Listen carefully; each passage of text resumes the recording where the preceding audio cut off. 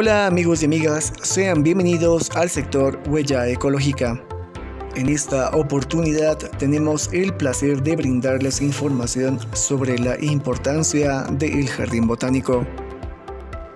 El Jardín Botánico es una institución cultural de la ciudad de La Paz administrada por la empresa municipal de áreas verdes, parques y forestación EMA Verde, dependiente del gobierno autónomo municipal de La Paz un espacio de meditación y tranquilidad, pero sobre todo un museo vivo de plantas que hay en Bolivia.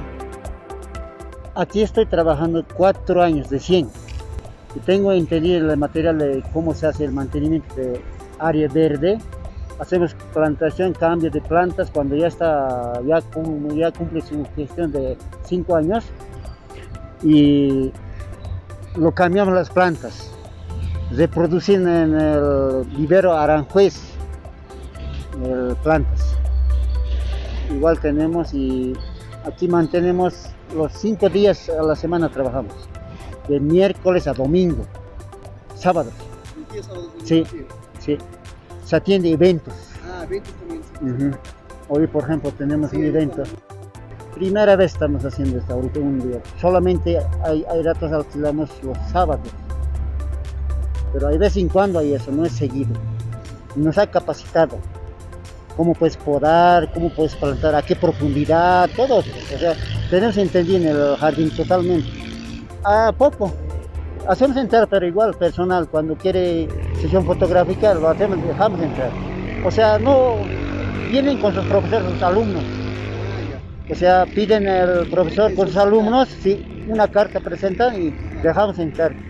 Solicitan antes.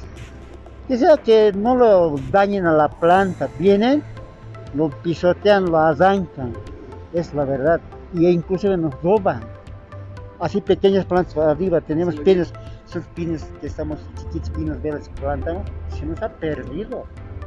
Y no, no estamos vigilando al cliente, quisiera que no lo toquen nada.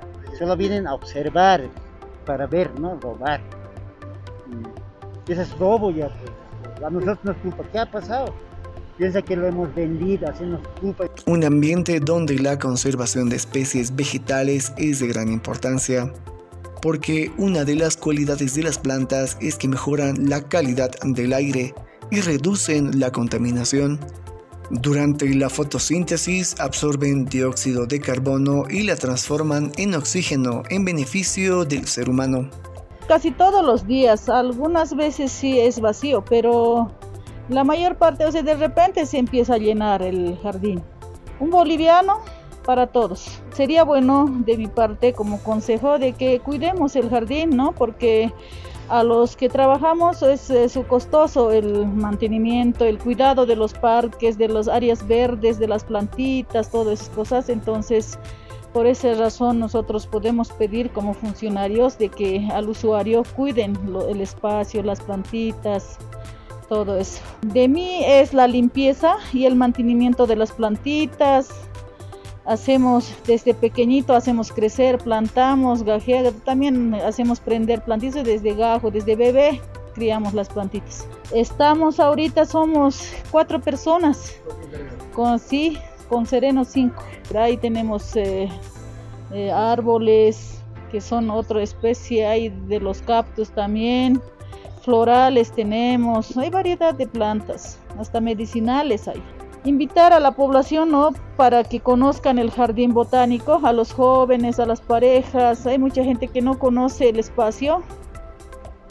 Sería bueno que visiten este espacio para que conozcan, disfruten del mismo ambiente, del clima, de las plantitas, es muy lindo aquí como una responsabilidad social es el crear conciencia, educar y promover prácticas para el desarrollo sustentable.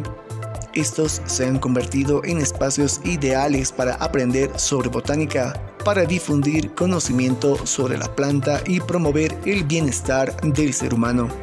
Tomemos conciencia. Y con esto concluimos, esperemos que esta información haya sido de su agrado. Hasta una próxima oportunidad.